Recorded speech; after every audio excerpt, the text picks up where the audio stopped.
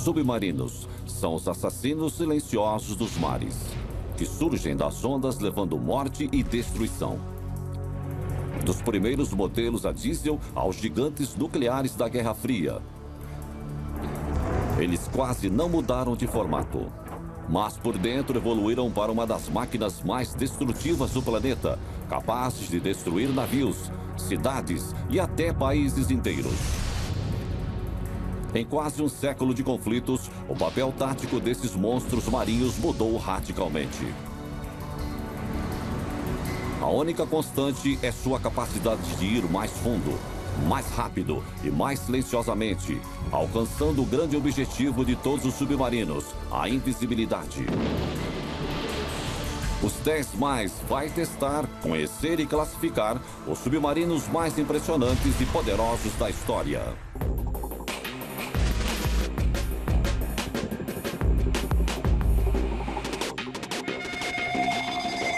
Os 10 melhores submarinos. Em duas guerras mundiais, os submarinos dominaram as batalhas navais, destruindo navios com canhões e torpedos. Mas com o início da era nuclear, surgiram novas missões e novos alvos.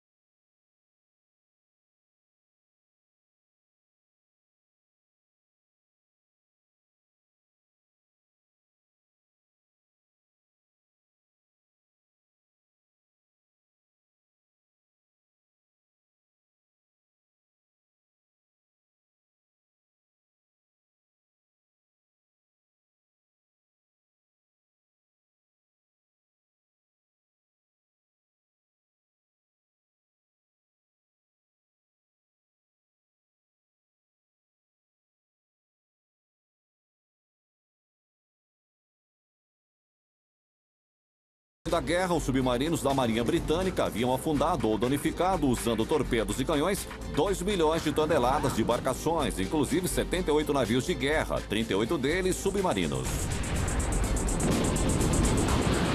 Eles também perderam 73 navios e 2 mil homens. Muitos tripulantes dos T-Boats ganharam a Vitória Cross, a maior condecoração britânica. Essas medalhas não eram dadas a qualquer um. Esse submarino era um ícone. Quem quisesse ser submarinista na Segunda Guerra Mundial queria trabalhar num T-Boat.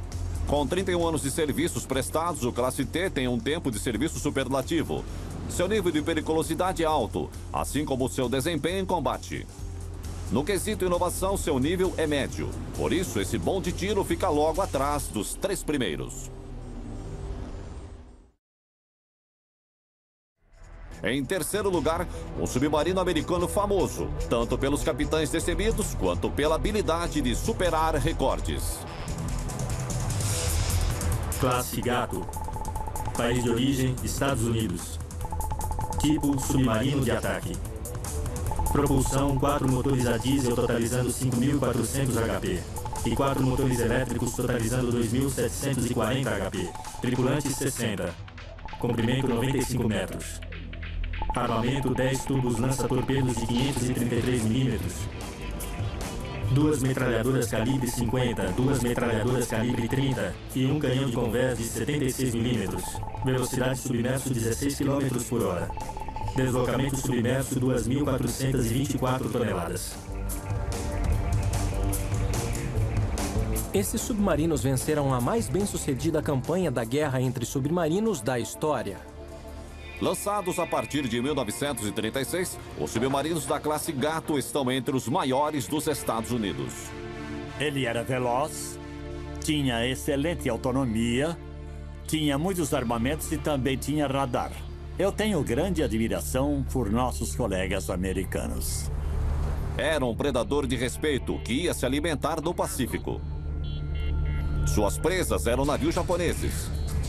Durante a Segunda Guerra Mundial, os Estados Unidos adotaram várias táticas dos U-boats alemães. Os navios mercantes se tornaram alvos fáceis. E verdadeiras alcateias se formaram para atacar os comboios. O efeito era devastador quando a força americana de submarinos atacava em grupo. E como eles podiam usar o elemento surpresa e permanecer no mar mais tempo do que se esperava, capturaram muitos alvos rapidamente e relativamente sem custo. Os 73 submarinos da classe Gato reviraram o oceano, destruindo e afundando navios. A capacidade japonesa de reabastecer suas tropas sitiadas logo ficou prejudicada. Enquanto os japoneses tentavam manter Guadalcanal, seus soldados contavam os grãos de arroz, porque não havia suprimentos, já que a força submarina da frota americana no Pacífico não deixava passar nada. Boa parte desse sucesso devia-se a alguns capitães ousados e muito experientes, homens como o capitão de corveta Dudley Mush Morton. Conhecidos como a alcateia de um barco só, Mush e seus homens do USS Wahoo afundaram 19 navios, no total de 55 mil toneladas. Ele odiava os japoneses de forma até passional, mas sabia como usar seu submarino em batalhas. Conhecia todos os aspectos do seu barco e sabia como escapar. Ou seja, o submarino e a tripulação eram uma extensão dele. O gato mandou quase 2 milhões de toneladas de metal quente retorcido para o fundo do mar. Os números impressionavam, mas podiam ter sido bem maiores. Várias vezes, os torpedos americanos deixavam de explodir no impacto. Mas o defeito que a tripulação do gato mais receava era a temida trajetória circular. O torpedo voltava para o submarino em vez de seguir para o alvo. Perdia-se uma embarcação. Essencialmente, eles cometiam suicídio sem querer. Os problemas com os torpedos foram resolvidos com o tempo. No fim da campanha no Pacífico, a frota americana de submarinos havia destruído 30% da marinha real japonesa e mais de 60% da frota mercantil nipônica. O gato tem desempenho notável em combate e alto nível de periculosidade. Em inovações, o nível é bom, assim como em tempo de serviço. Sua invisibilidade é média, o que lhe dá a terceira posição entre os 10 mais.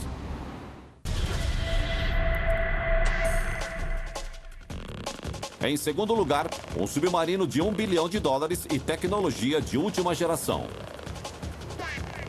Classe Seawolf. País de origem, Estados Unidos. Tipo, submarino de ataque nuclear.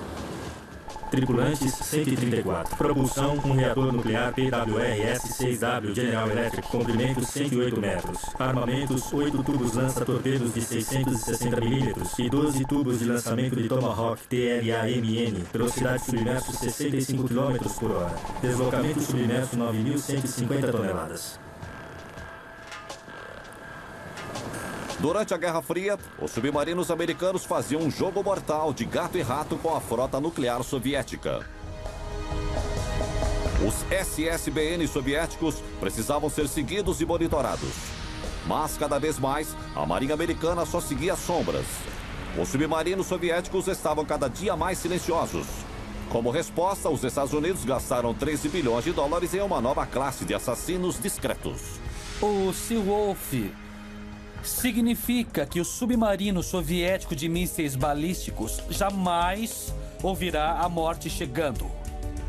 Lançado ao mar em julho de 1997, o Seawolf é o primeiro submarino de ataque dos Estados Unidos totalmente novo, de ponta a ponta, desde os anos 70. 7 milhões de peças diferentes foram usadas em sua construção. O resultado é uma embarcação incrivelmente silenciosa, com armamento pesado e computadores tão avançados que resolvem qualquer situação. Seria incrivelmente difícil. Ele pode dominar o espaço de batalha subaquático com facilidade. Seria um oponente de respeito em qualquer conflito. A missão primordial dele era destruir submarinos soviéticos com mísseis balísticos antes que pudessem atacar alvos americanos. O único problema foi que quando o Seawolf foi lançado, a Guerra Fria já havia terminado.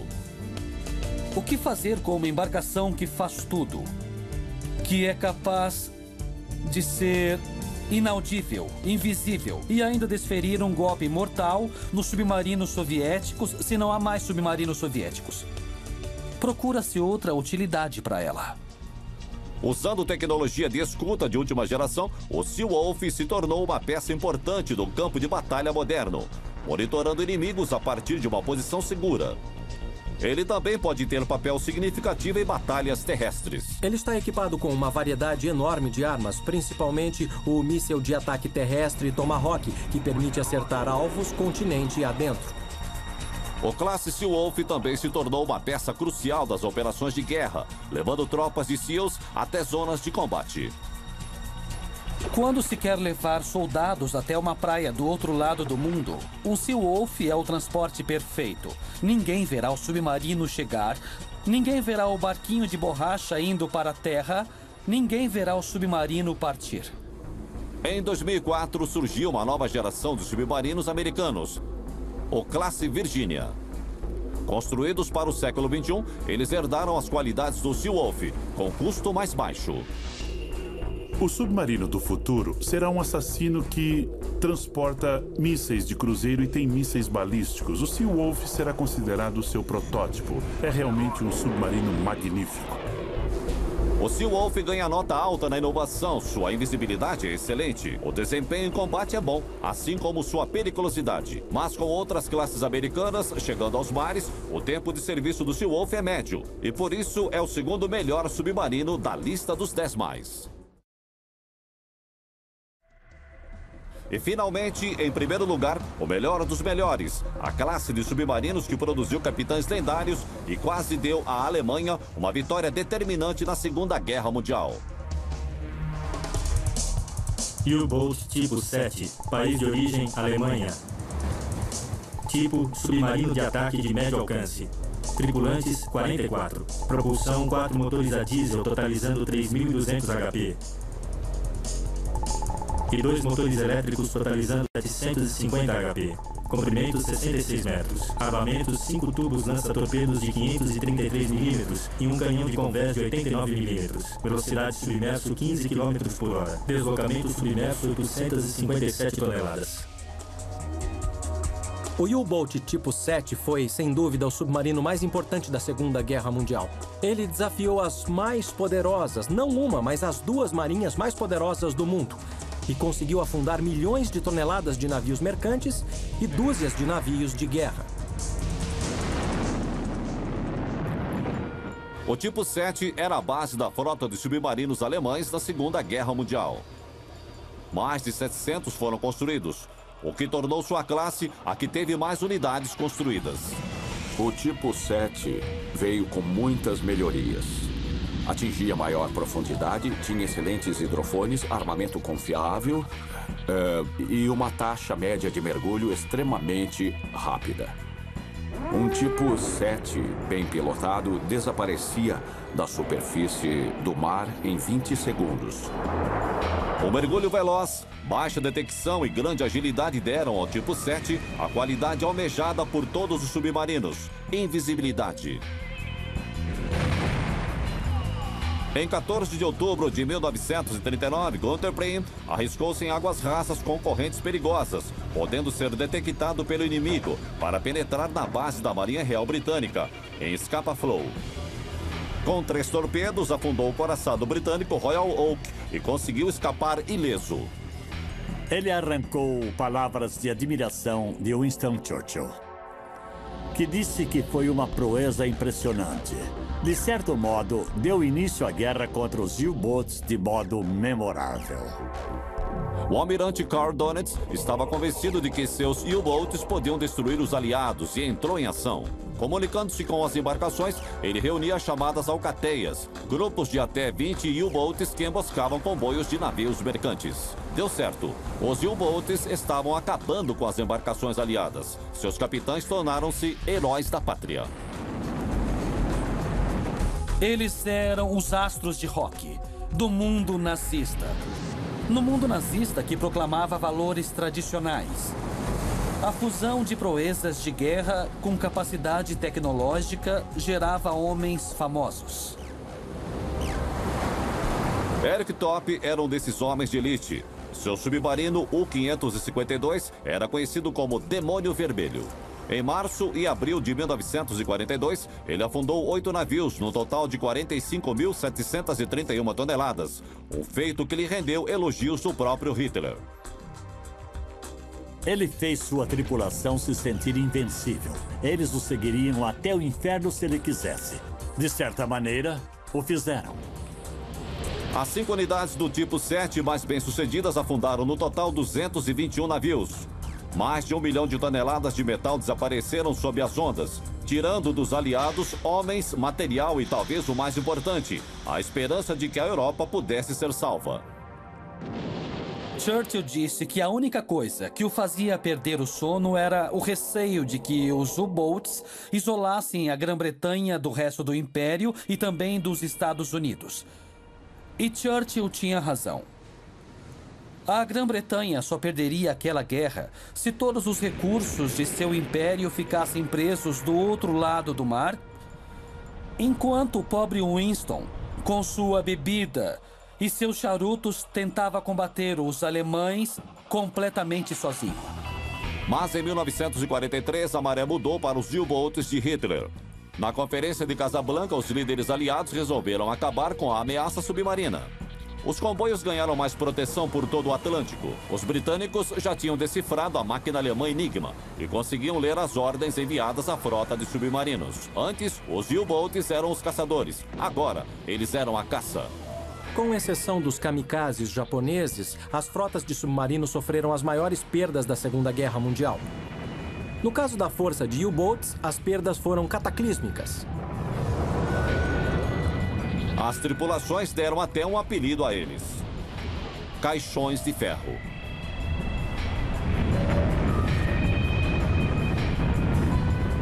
Mas apesar de suas perdas, os U-boats tipo 7 continuam uma das armas mais influentes da Segunda Guerra Mundial. Em cinco anos de combates intensos, eles afundaram 2.779 navios, no total de 14 milhões de toneladas. A classe Tipo 7 afundou mais navios mercantes inimigos do que qualquer outro tipo de submarino no conflito. Também sofreu mais perdas que qualquer outra classe de submarinos daquela guerra. Mas foi a que provocou mais medo e ansiedade ao maior número de países do planeta na época de sua atuação. O U-Boat tipo 7, que abriu caminho através da campanha naval mais difícil da história, também abriu caminho até o topo da nossa lista.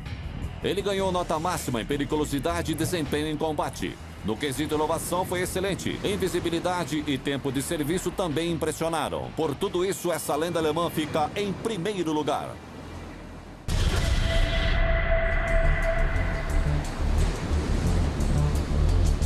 Versão brasileira Tempo Filmes, São Paulo.